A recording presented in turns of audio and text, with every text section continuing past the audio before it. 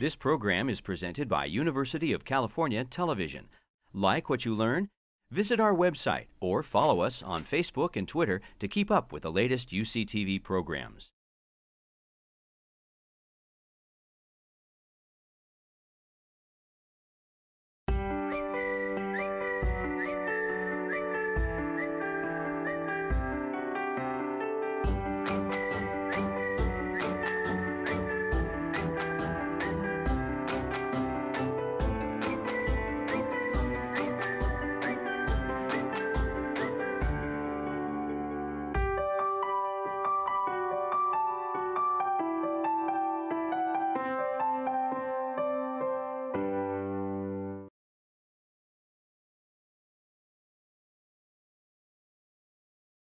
To kind of take a, a, different approach and motivate my talk by looking into the future, what's coming, and what does that mean in terms of a variety of different scenarios in terms of how we go forward from the standpoint of food. So my simple message is going to be that demand for food is going to grow dramatically in coming decades. Um, the impacts, environmental impacts, are going to be enormous depending upon the way that proceeds. Um, I'm going to make the argument that seafood is way better than land food in almost every way we can talk about that for reasons that I'll show you. And so that my end message is going to be the more in this coming growth that we can shift that demand to seafood relative to land-based food and particularly animal-based uh, land foods, uh, the better from the standpoint of the planet. So there's, there's the message that I'm going to come across. So here's, here's the challenge. If we look at the nature of food consumption on the planet today, and this is animal food production, um, animal uh, protein consumption. Um, it's growing dramatically. It has grown already in the last 30 years, pretty dramatically. Um, and you know, there you can see the breakdown of various components. Land-based meats, 72%. That fraction is going down. The ocean fraction has been going up. Um, and so this is what we've seen over the last 30 years. Um, if we look out in coming decades, uh, this growth is going to accelerate. And it's going to, it accelerates for two reasons. First, let me just show you. Um, so this is one of these cartographs. So here, obviously, this is a map of the world. But every country is the size of the actual country. Um, but we can also do this in the way that you change the size of all these countries on the basis of some kind of data. So the total land area is going to stay the same. But for these plots, the size of the country is going to reflect various aspects. So if we look at current population size, this is the way the globe looks. Okay? So that's obvious. Everybody knows that there's a lot of people over in Southeast Asia. Um, and so those areas blow up in a very big way. Um, if we look out 30 years to 20, well, more than 30, to 2050, um, most of the growth happens, there's significant growth still in Asia, and there's also a lot of growth in Africa. Okay, so there's going to be increasing demand that's going to grow in specific geographies. That's one reason why that growth is going to go up. Um, the other uh, has to do with growth in wealth. And this is just a simple pattern that has been observed over and over again across all kinds of different countries, that as the per capita income increases, the fraction of the diet that comes from meat goes up. And this, this is a plot that shows this across countries. Uh, but the same kind of pattern happens if we look at growth and wealth within countries. So the patterns in China, for example, over the last 15 years have been dramatic in terms of big increases in per capita wealth um, and a huge increase in the fraction of diet on a per capita basis that comes from animal-based protein. Okay? Um, if we look, again, this as a geography, where has the growth in, in wealth actually been happening? Well, part of it, of course, has been in the developed world. But that's really not the growth that matters from the standpoint of food, because that tends to be growth in wealth for people that are already pretty well off. But it's really this growth that's happening in Asia that is going to be the other big driver. And, and this is a, a, a, huge factor if we look out, project over 30 years, and the anticipated growth in wealth that we see within the developing world. So it's going to be Africa in terms of people. It's going to be Asia for both people and wealth. And if we put those together, come back to this figure and project out to 2050, if you just assume nothing constrains the growth in consumption, um, this is what we project by 2050. Roughly an 80% increase in total animal food consumption within the next three and a half decades. That is a whopping amount of additional food to produce. So the question I want to talk about is um, how can we meet this? You know, and, and one answer may be it will not occur because you can't produce that much additional food or the environmental consequences would be so large that it'll constrain the growth. Those are really important things we should be talking about. Um, but the, the basic point I want to talk about is that the path that we take to meeting this demand really matters. Now, uh, some of these projections came from a paper that Dave Tilman and his group did a couple of years ago that looked at this problem and then looked at it in the consequences for land-based food production. And so they projected out a whole variety of different scenarios about how you could actually produce that much additional food. And I don't want to go into the details of this uh, study very much, other than to say that all of the scenarios are ones that you really would not want to um, choose, right? They're all bad in terms of having very big impacts in terms of land conversion, biodiversity losses, greenhouse gas emissions, nutrient loadings of watersheds, a whole variety of different things. Now, what they showed is that the strategic choices of different pathways, if in fact there's any way you could direct the way they go by different kinds of policy options, have dramatically different consequences. But from the standpoint of if you're trying to produce that much food from land, it's a big set of problems from the standpoint of these environmental impacts, all right?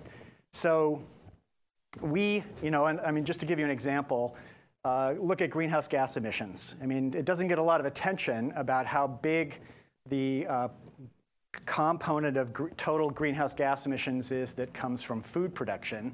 Everybody talks about buildings and energies and transportation, but if you look at the, these components, livestock production, um, agriculture, and then some component of land use and transportation to be able to move that food around, you're talking about a third today of global greenhouse gas emissions. They're coming from food issues.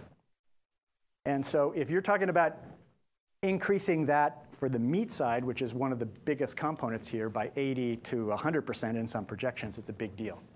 And so um, the consequences, though, uh, turn out to be really different, of course, depending upon what you choose, where that, where that growth occurs. And so for the standpoint of greenhouse gases, um, what this plot shows for four different types of land-based meats, the average level of greenhouse gas production for a given level of protein. The height of the bar is the average for existing types of production. The, the, the, other, the second color is showing you what's the lowest level for any form of um, life cycle assessment we have for any form of production for that kind of meat today. Okay, so it's, you can kind of think of that as some scope for opportunity using best practices or technology development and things along those lines. And this is the kind of work that Dave uh, focused on in terms of thinking about a variety of different kinds of uh, land-based meat production. What he ignored was the ocean. And, and the reason I want to show the, you know, that this is an important emission is because when we start putting ocean-based food production on here, one of the things that you can see is that, let's take wild-caught fisheries for a second. There's a lot of variability, mostly in fisheries it's due to how you catch the fish. It's not on the basis of the species uh, for obvious reasons in terms of greenhouse gas emissions. Um, but again, if you look in some of these cases, you can't even see the blue, the second colored bar. And so even if we look at the average or if we look at best practices in almost every one of these categories, the best practice today is an order of magnitude or more better than best practices for any form of land-based production you can get on land. Okay? So there's a big potential for the scenario to be not quite as bad if, in fact, we start taking oceans into account. So Chris already showed you this morning that you know, one of the possibilities here is let's increase uh, food production from wild-caught fisheries. And that's an incredibly important thing to do because not, he, the other thing that, you know, he talked about the fact that this is beneficial in, in multiple axes. He didn't talk about it in the context of these kinds of environmental costs, but it actually has benefits relative to all other forms of meat production because fixing fisheries in most cases actually lowers the environmental cost, not increasing them with that increased production. So more fish, easier to catch them. The fuel cost per fish goes down instead of going up. A whole variety of other things that come out of this. So that's all well and good. Um, we should be taking advantage of this in a huge way.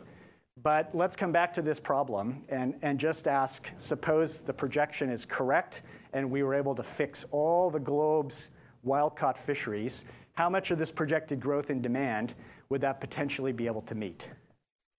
Well, there's the answer.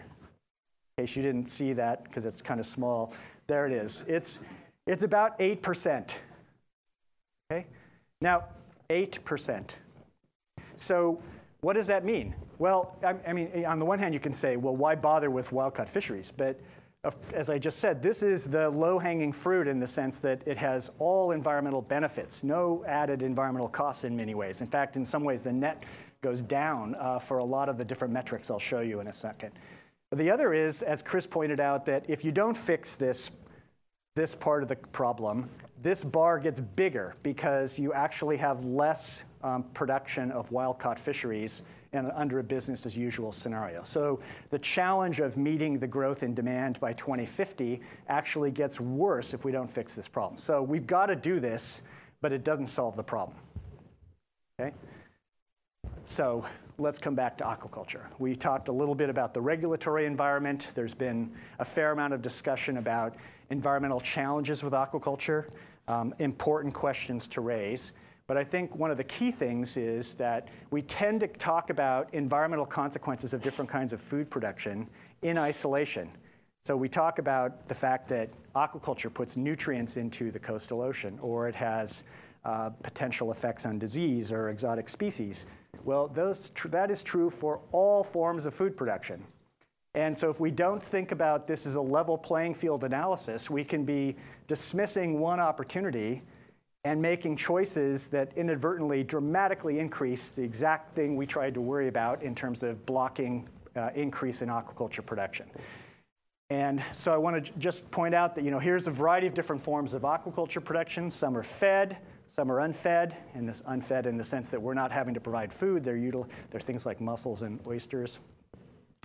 You can grow them in the ocean, you can grow them in ponds, you can grow them in, on land in recirculating systems. And again, what happens in this situation is if we look at the best practices, even today in this relatively you know, new technology compared to other forms of food production, it's better than any of the options on land. And in some cases, you know, you can't even see the greenhouse gas emissions for the best practices one for unfed aquaculture here. Okay? So what does this mean? Well, what I want to do is that the, the, results on greenhouse gases, people have published various components of that in a variety of ways. Uh, but one of the challenges when we start thinking about environmental impacts is there are a lot of them. And sometimes there are trade-offs that you can reduce greenhouse gas emissions. So for example, one of the things that a lot of people have tried to do to reduce the nutrient impacts of aquaculture is move it into recirculating systems on land to where you're not, you can filter out a variety of different compounds in the water before you release it back into. So you solve one problem, but as you can see from this, as soon as you move these into these recirculating systems, you increase the greenhouse gas emissions on average, again, by an order of magnitude. So you're getting trade-offs between different kinds of environmental problems. So what we want to look at is, does this story that you know, here there are ways of uh, producing the same amount of food with dramatically lower greenhouse gas emissions hold true when we look at other kinds of metrics. So I'm going to do a thought experiment to be able to um, show you how this might work. Because, I mean, I just showed you what those different greenhouse gas emissions were, but I don't think anybody can translate, well, what does that mean? You know, how big of a deal is that for the planet? Does this raise the temperature by, you know, some three degrees, one degree, a tenth of a degree.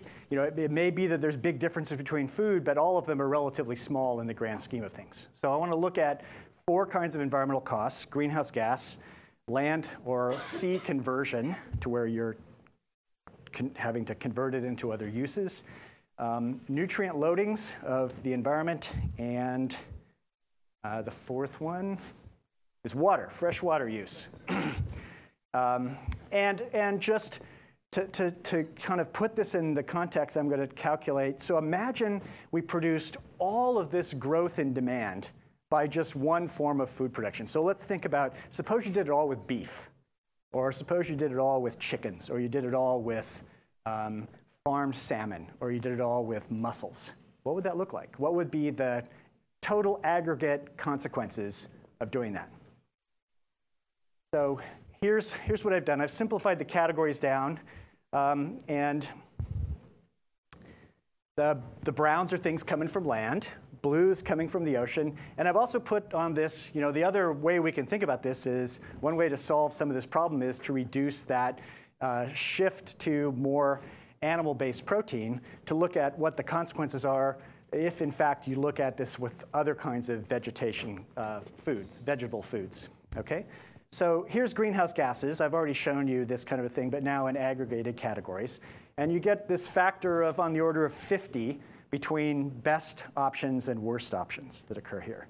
Um, and I'm going to go through these quickly. Fertilizer demand, same kind of a thing. A little bit of shift in order between um, some uh, types of organisms, but you know, dramatic differences. And in some cases, you get situations like this where the best case practices for unfed aquaculture are actually lower than any of the options are for even just shifting diets to a vegetarian diet. Freshwater use, same thing. Area use, same kind of thing. Okay? Now, so basically what this shows is there's not dramatic trade-offs. It's not like the aquaculture uh, was really good for a couple of these and terrible for other ones. Um, it's better on average than most of the options on land, and in most, in many cases, it's dramatically better. In some cases like this, you're talking about worst, best case to worst case is a factor of 500 fold difference. But you probably have no way of interpreting what is uh, two, you know, two, 20 million or 2 million kilometers squared or anything like that. So I want to put these into context that allow us to think about this. So let's continue this thought experiment. I'm going to take for, e for three of these metrics, I'm going to show you the worst case scenario and the best case scenario if you produce the food just by that particular thing. So uh, these guys are worse from the standpoint of land area. And so how much new land area would you have to put into food production to meet that growth in demand by 2050 if we do it all with sheets and sheep, sheets, sheep and goats? It's about 85% of South America. That's a lot of land in new forms of food production. Okay?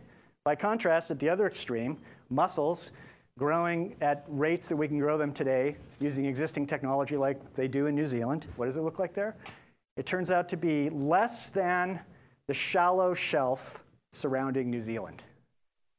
So it's one thing to look at this in a graph. It's another thing to see what the consequences are of very different ends of the spectrum of how different food choices would influence the amount of conversion of area, whether it's on land or the sea. Let's do greenhouse gases. A new worst case scenario is now cows. So how much would we increase greenhouse gas production? if in fact you did this all with beef? Well, it turns out you would be adding 81% of China's current total CO2 emissions to the greenhouse gas problem, or 130% of what the US actually does today. That's one extreme. Greenhouse gases for mussels, it's roughly the emissions of the UK. So again, this is hundreds of times difference in terms of adding to the greenhouse gas problem associated with foods that shift more to in this direction relative to foods that shift more in that direction. Water. I'm almost done. Last one. Thought experiment number three, water. Um, water's tricky because you have to kind of figure out what water do you count. If you count all the rainwater that goes into the crops that are fed to these things plus the irrigation, then it turns out you'd have to be adding fresh water comparable to the volume of Lake Huron, one of the Great Lakes, um, to be able to produce that much additional beef. Okay? Um, if you only consider the irrigation part, how much we're having to actually use um, water that we, as opposed to just growing it in the right place, it's comparable to Lake Tahoe in terms of the volume of water you'd be adding in terms of global irrigation somewhere to be able to produce it with beef. What about the other end? Well, it'd probably be less than a bucket full um, for this one. I mean, this is, the, this is the extreme case because there's basically no freshwater component to that form of food production. So I just want to end here and make the point that if we really think forward about this sustainability problem, it's, it's partly an issue of what are our environmental challenges today, but I think we also have to be really thinking about what is the future going to look like and what are the alternative scenarios. And to the extent that we um, have a situation, you know, to, to the extent that different policies influence the frequency at which we're going to have fish whether it's from wild caught or from aquaculture as part of that demand. And fish, I mean broadly, um, both finfish and shellfish. Um, the environmental consequences to the planet are dramatically lower in a whole variety of different metrics than if, in fact, this growth in production continues to be predominantly from land-based animal protein. So I'll stop there and we can chat about how we're going to actually meet this demand.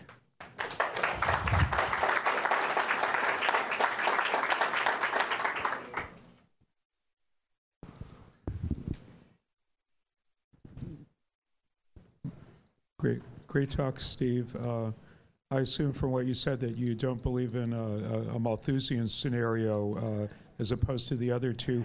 Uh, how, how, do you believe that your 40 year projection on increasing uh, seafood outcome with fewer impacts will be uh, affected by the rate of ocean acidification that Charlie Kolstad and his 800 international teams of scientists are now predicting? Well, that, that's a very good question. And Chris already raised this issue, but I mean, um, you know, the, the, here's, the, here's the added piece of this. If we look at where we project growth in demand for seafood. The dark green here is ranking all the countries by this 50, 2050 demand, not for total uh, meat consumption, but this is seafood consumption on the basis of their existing preferences for seafood versus animal protein. The, the top 10 countries are all right here. And Chris already showed you this figure, which shows that um, that is also the area where you know, these projections on the basis of just warming, none of the other things that Lisa talked about, where we project something on the order of a 50% decline in productivity. So there's a big, interesting geographic component of this too. I mean, that, this doesn't mean that um, this is going to create huge food security problems necessarily in that particular place, but it does influence the, you know, I mean, because if uh, the other thing I can show you here is, you know, here's, here's if we look at how where fish exports are back one of these maps, you know, that this is the part of the world that exports fish like crazy. Um, and here's where the imports go. All right, so, but, so there, there are all kinds of trade and other kinds of implications of this, but the place where the demand is going to grow the most is also the place where we have the potential for some of the biggest declines in productivity. Same thing is true for Africa. So the two places where it's either wealth or population growth is where you've got these big um, effects coming. Yeah. Just look at it. Yeah. Can we actually grow all those mussels? Well, that, that's a really good question. It depends on where you grow them, right? I mean, so so it may be that I mean, you, you probably can't grow mussels in a lot of those tropical areas today because they're they're, they're low productivity waters. That's not where you'd be growing filter feeders. You might, you know, you'd be going, you'd be better off doing something like Hunter's been working on with giant clams, which are basically plants that have shells because they're using they're captured microalgae as a source of food. But so unfed aquaculture in a lot of the tropics doesn't work because you don't have a lot of water column productivity for them to be able to really be able to have high production. Some places it works, but a lot of places it doesn't. Um, thanks. Um, I certainly get this and great graphics. Um, but I'm curious about uh, dairy and you know, cheese, milk, and egg, because you talk about meat and the protein conversion is a little different. Yeah, so I, a couple of those slides, I actually had dairy in there. And dairy tends to be lower environmental costs than meat production for the same animals that are producing it. Um, but so that's true. that's true for milk in cows and goats. It's also true when you're thinking about eggs from chickens. So both of those tend to be lower um, for all of these metrics than the, um, than the, you know, the meat itself. But, not, but still higher on average than what a lot of the options are from the sea. Yes? So two assumptions. One was the wealth. I wonder what you based that wealth growth on. And the second is uh, those are cultural assumptions that you have got an answer through aquaculture, but the assumptions that people would eat those ways are pretty large assumptions. So that's a big challenge. Yeah, so that's a really good point. I mean, and so all of this is talking about policies. If you're really going to change the way these outcomes are going to play out, you're talking about policies that somehow influence behaviors. Um, and those could be because prices go up and people can no longer afford to eat one thing versus another. It could be an educational thing along those lines. In terms of the projections, they're based upon uh, current patterns of uh, increase in wealth within countries. It's based, all of this is really driven by people that are moving into the middle class. And so virtually all of that growth in wealth that is affecting the food demand is coming from projections for China and India.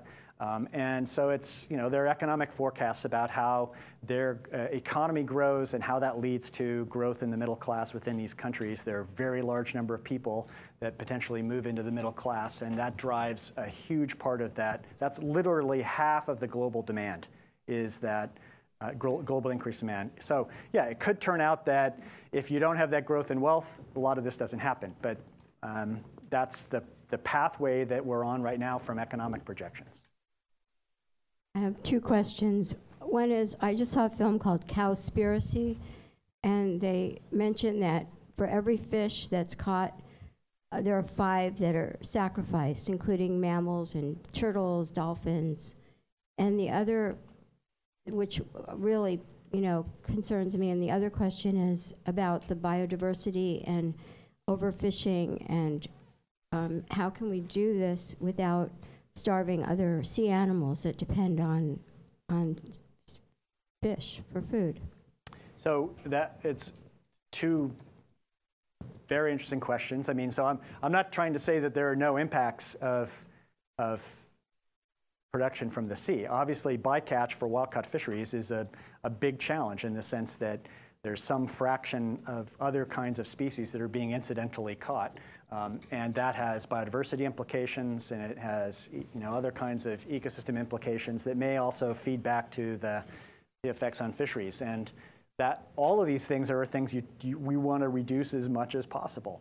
Um, but there are also biodiversity implications of food production on land. I mean, if you had to convert an area the size of South America to new forms of food production, the biodiversity implications of that would be unbelievable. And, and it's, so it's, it's a different pathway in terms of affecting biodiversity than indirectly catching something in a net. Uh, but it's not that all, all these forms of food production have biodiversity implications. And it's either through land conversion or incidental effects or the uh, you know, spraying of pesticides and what those do to uh, areas outside of, so there's, that's why I think this has to be done in a level playing field analysis. You can't think about this as this form of food production has awful uh, consequences, and so I'm not going to eat that form of food.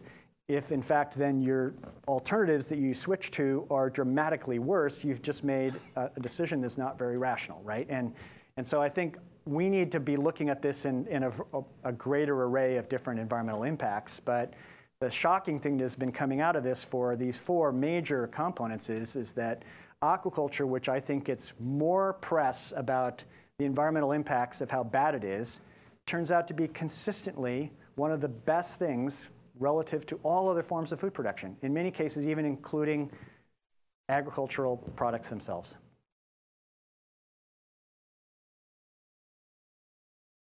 I was going to thank uh, Chris for asking me to talk, but maybe not if I have to talk after, after Steve with something uh, so beautifully done. But uh, I'm going to do something a bit different, which is uh, look at at aspects having to do with uh, with the potential for, for transitions and shifts in systems.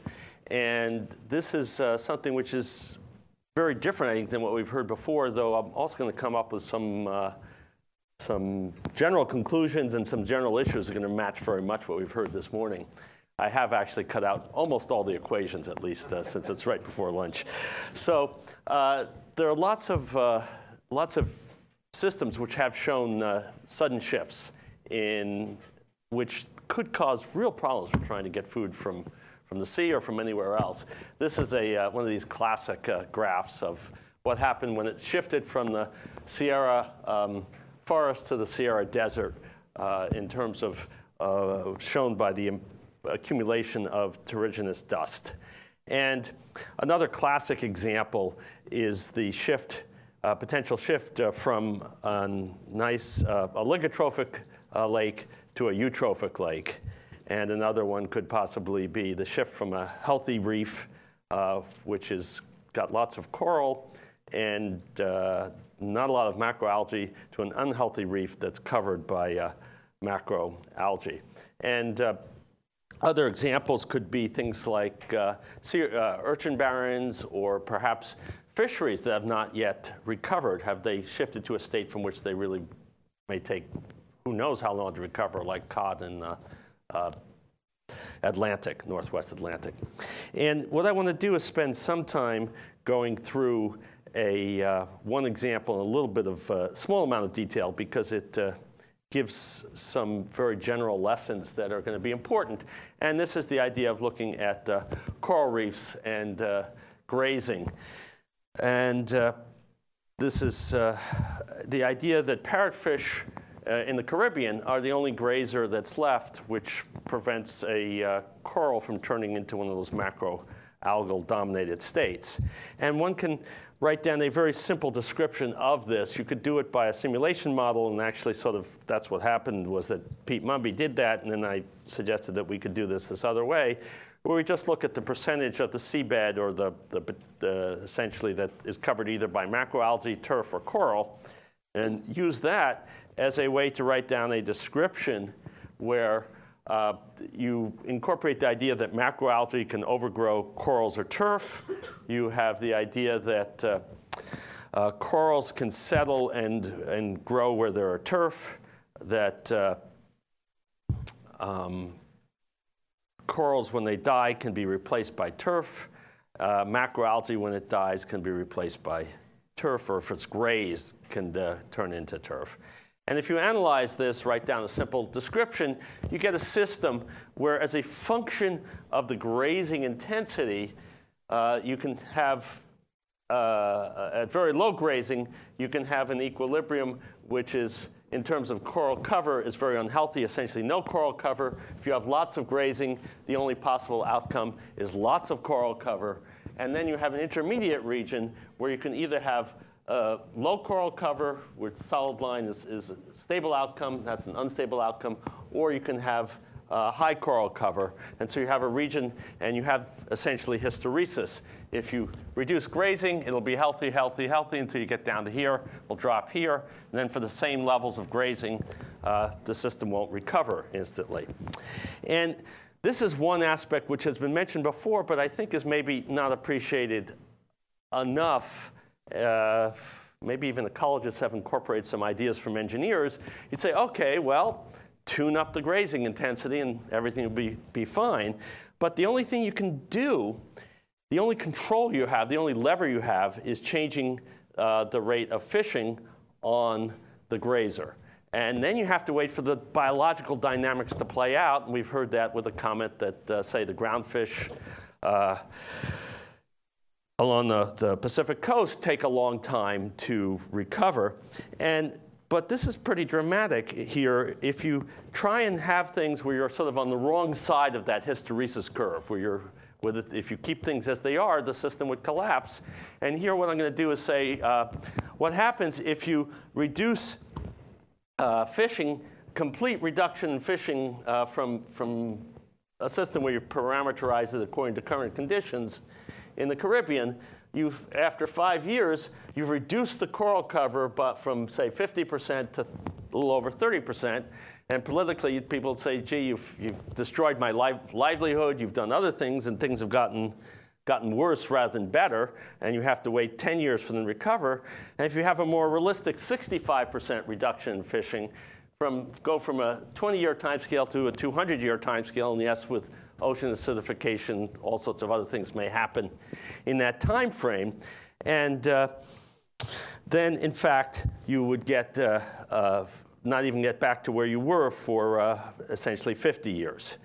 And so one of the things that one might want to do is be able to say, can we predict before we cross, and when we're at this region where we're about to run into trouble by moving to too low a grazing level, do we see signs of what's going on there?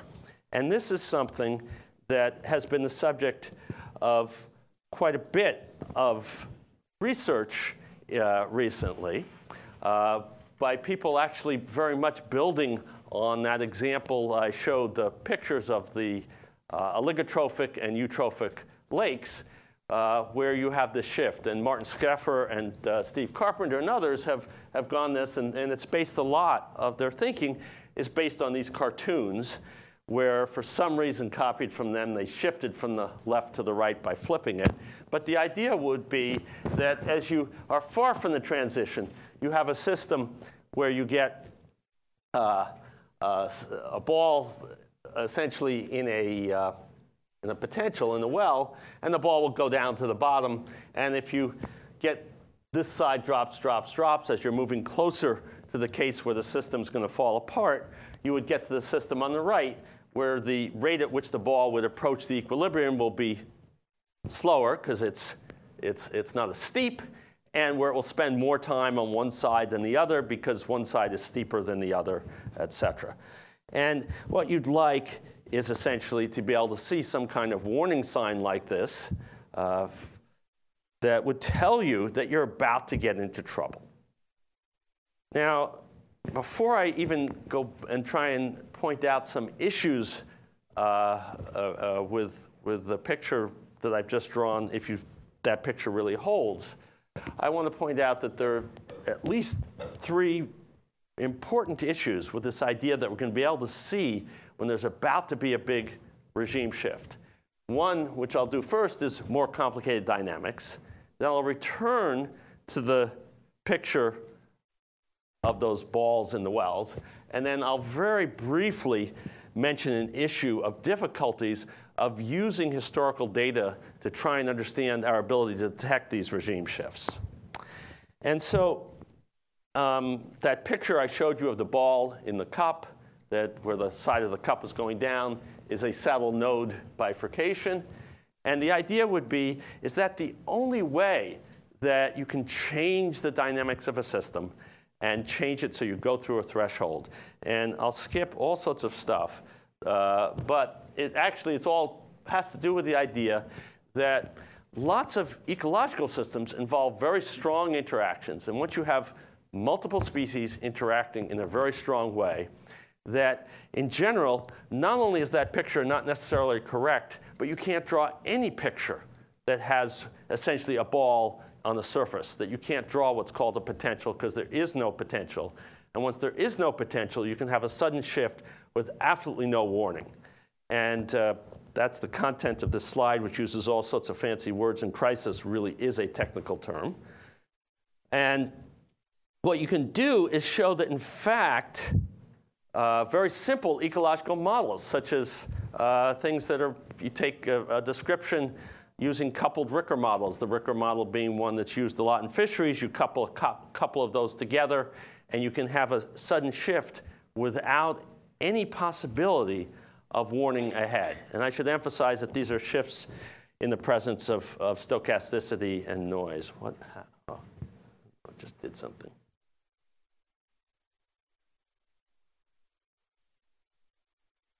Okay. I guess just covering up uh, what's here. Oh, it's not a touch screen. because it just showed up this, this uh, thing about the use the network or something. And I tried to touch it and make it go away. Didn't. Okay. So uh, let's instead now concentrate in particular on the what happens? Can we see one of these sort of classic transitions coming? And uh, this is some work uh, done, a lot of it uh, primarily, or, or, done with a former student, Carl Boettiger, who's uh, be starting at Berkeley in the fall. And so one can look back and, and look at data, for example, the, some catastrophic transitions. This one is probably not a negative catastrophe, but a positive one, the end of the last glacial period. But then there are other things like the collapse of, uh, of uh, fisheries that have already happened. And so what one can do is go back to this picture, which I'm going to show you again, and then emphasize what I said, that as you change a parameter, as you say,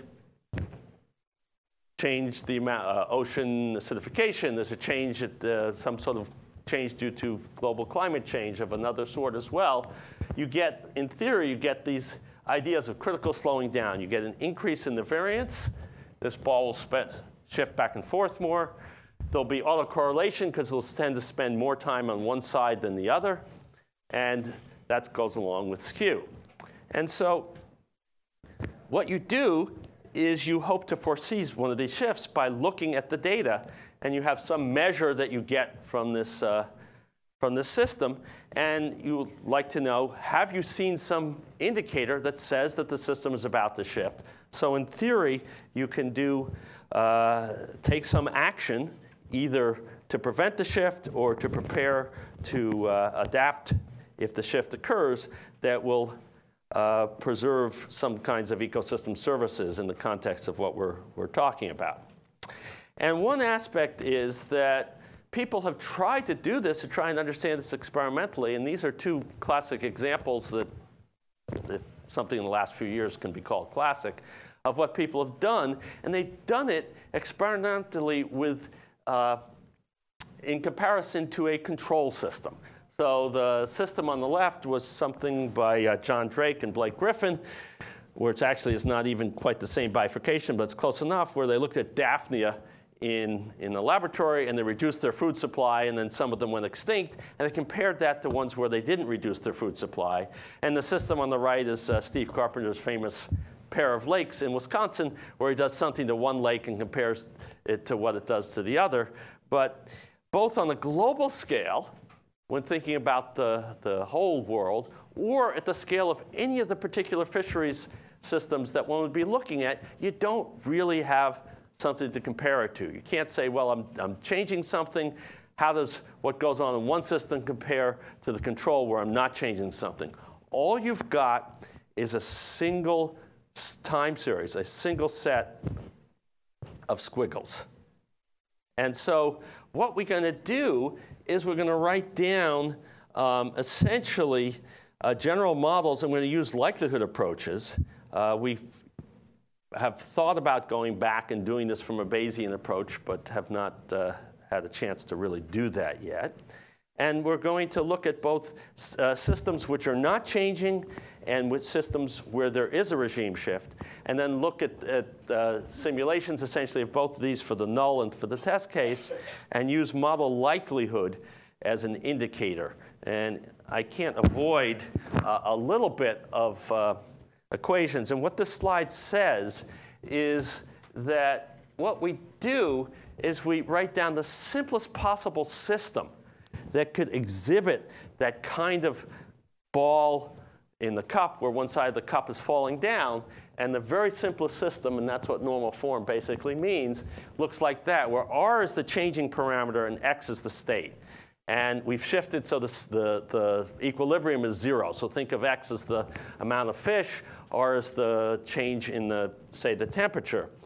And uh, that's what we've got here. We add noise to the system we add essentially the fact that it's stochastic because otherwise nothing can happen. And the idea would be that we compare two kinds of systems. One where we assume that R sub t, the, the, the single parameter that's controlling it, which is exactly what underlies saying that we can relate everything to this model-free description of a catastrophic change, that that is, has some value and it now is changing linearly with time. Again, the simplest possible assumption.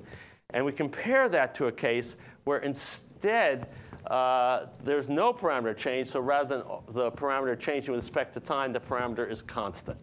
And so that's the, we compute the likelihoods, the probability of observing uh, uh, uh, of parameters given the observation of the data, and we compare the likelihood in the two models. And one of the aspects that uh, I know at least some people here uh, know well is that we are going to visualize the trade-offs using receiver operator characteristics. And I'll maybe go through this very, very quickly with a comment that what we want to do out of this is, is that's what's useful is not to say we have shown beyond some statistical doubt that there is going to be a regime shift or we reject the null hypothesis that there's going to be a regime shift. What we'd like to do is, as, as essentially a scientific analysis, provide the probability that given some observation of the data of some time series, what is the probability that there's going to be a regime shift? What's the best estimate of the probability there's not going to be a regime shift?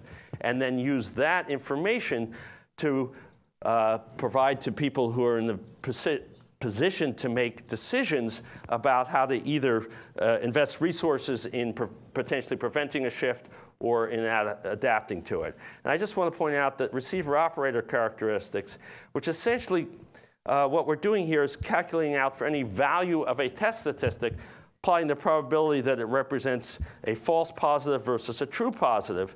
And if you have a really good statistic, it would go along the, the, uh, the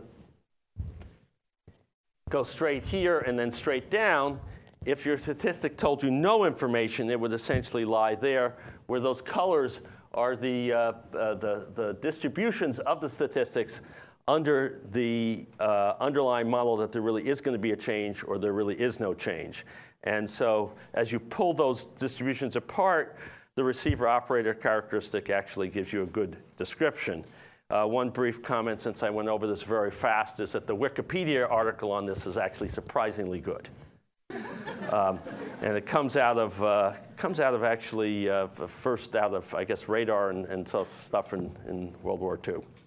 And so uh, what we can do is we can uh, calculate out our approach, and our approach works very well and does better than, than others.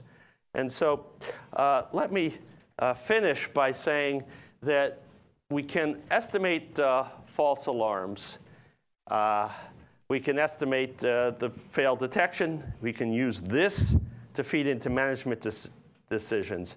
And uh, this shows uh, ways to do this. There's a bunch of references here. Uh, the very last aspect would be that if you try and use past shifts as a confirmation, if you try and look at historical data, you've got a severe problem in the sense that it ends up being an example of what's known as the prosecutor's fallacy, which is this misuse of conditional probabilities, made famous perhaps in the O.J. Simpson case. And uh, I want to finish with, with one other point in this, this slide, which is that what I was talking about were cases where you had hysteresis, but we're just as worried about cases where you have a sudden change without the hysteresis, so a sheer cliff rather than a collapsing cliff. And uh, basically, uh, as, as, final conclusions, is that we need to design uh, realistic statistical approaches, but designed with the right goals in mind. So rather than trying to sort of scientifically say there's going to be uh, a, uh, a, uh, a, shift or not, but actually this idea of doing it with, with the goal of providing information in terms of, of providing information to managers of the probability of shifts, we should recognize limited statistics. There's issues of timescales which, which have come up here. And also, ideally, we should get as detailed a model description as possible and include the kinds of nonlinearities and density dependence and strong interactions among species which may be present. And these are challenges because as we've heard this morning that a lot of what has been done, a lot of the focus is on single species systems and those will, will may miss the kinds of uh, dramatic shifts that may occur. And so uh, that's probably a good place to stop. I've used up my time. And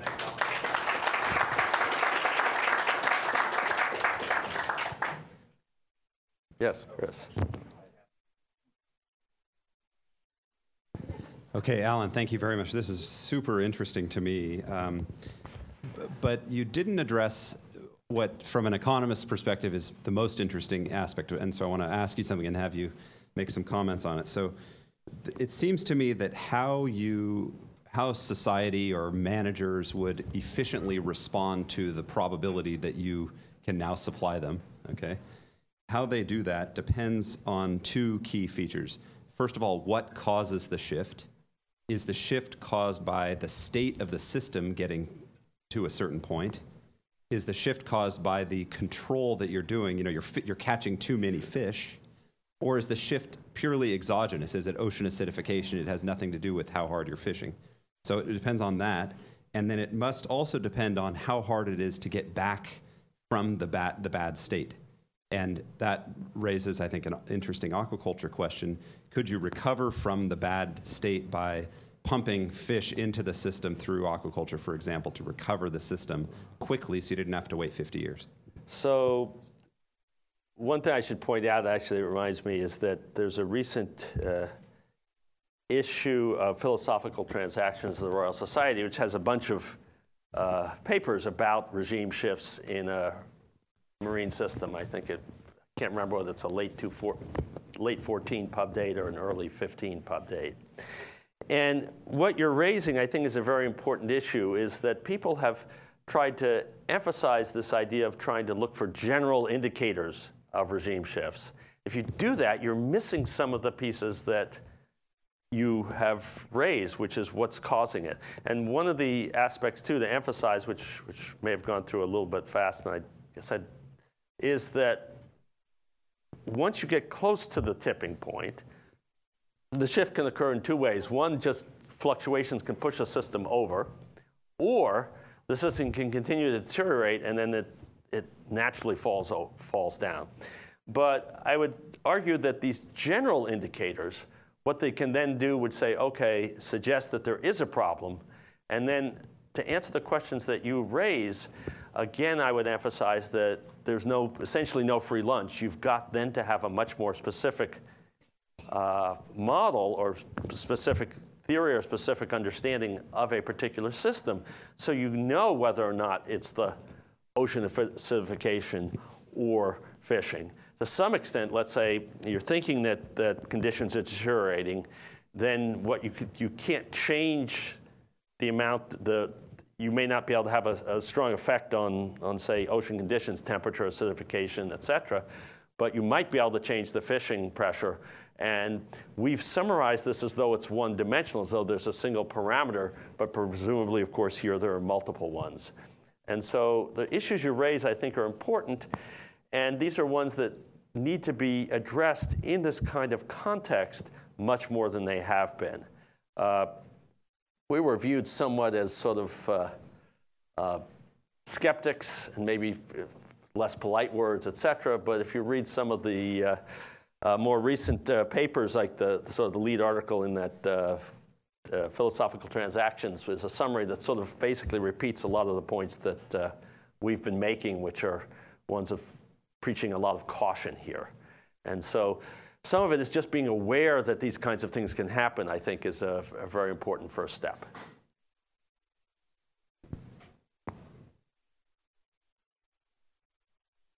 Hi. Um, for, for those who do paleoclimate, could you talk a little bit more, and, and maybe you just kind of address this? Um, you spoke quickly about the um, misuse of conditional probabilities and talking yes. about dangers of historical data. Um, so, oh. how would you talk to a paleoclimatologist about what they're doing using um, sort of justification for their work, projecting what might happen? In the future? So, what I the point I would, would make there is that uh, if in fact you look back at the historical record and you see there's been a shift, you say end of a end, end of glaciation. There are a bunch, there are a number of others that people have looked at. What people have done then is looked before that shift and say, have I seen a signal? As a matter of fact, they even, and that clearly has severe problems. And even if, for example, uh, you ask whether or not the system has had skew before that. Yes, in fact, it has to have gotten near the kinds of conditions that would be starting to change. So a change in temperature or a change in, in something else. I've never been in a room that doesn't have a board, which is what I'd want now, but maybe I, or, uh, but what happens is that you could have that same kind of shift without it producing the same kind of tendency towards about to look like it's about to shift without it shifting. And the fact that it actually has, does it even after you have the shift, it's still no, no more likely to have shifted then because there's been no underlying change. And some of that is the idea the only way it can uh, sort of leave a, a, bowl that looks like this is to do so relatively rapidly. So there has to be some skew and autocorrelation, but it's a false signal. So it's exactly this sort of aspect that, uh, so if somebody gets a, a uh, who, who's in a very low risk group gets a positive AIDS test, and you say, well, has a very, very small uh, false positive, but the person really shouldn't be that worried because the number of false positives, is, the number of false positives is still much higher among the population who really don't have AIDS. And it's this misapplication for looking at the, trying to understand can we get signals by looking at historical data. And so it's this idea that we've got this really big problem. We only have a single realization. And it's a single realization. Dealing with single realizations raises all sorts of issues for thinking about the role of stochasticity in ecological systems. And not only that, but most of the theory we have is the one that I put up there, which is small noise, little tiny jiggles, but we've got you know, big jiggles that, that are caused by all sorts of external things. Could be you know, solar storms, could be all sorts of things. And that, incorporating this into ecological uh, thinking is very, very hard. We have time for one more question. All right. Um, I was wondering if, when you mentioned that you need the need for realistic statistical approaches, if you kind of envision models based on certain systems that incorporate, you know, the ecological context, um, as well as whether the models that you talked about include not just understanding the factors involved in the transition, but you know, the feedbacks that maintain either state and how that can be used, you know, in management. So I would argue strongly that you want to have models that incorporate the specific system. So I went through the, the coral, a lot of the work on the transitions in lakes, people have written down simple models. And then based on that, they said, oh, well, let's look for general indicators. And I think there's that there, there, can be some grave dangers with doing that. And so very much if you want to try and understand how management actions are going to work, that even if you find something from one of these general indicators, that you're going to want to go to a specific understanding of a particular system. But I think there's also just some great value in recognizing that these kinds of transitions can occur. There's other problems which I didn't even have time to raise here with looking for general ones. And uh, the other one is that once you have systems which are strongly interacting, you're not going to see these same kinds of early warning signs just will not be present.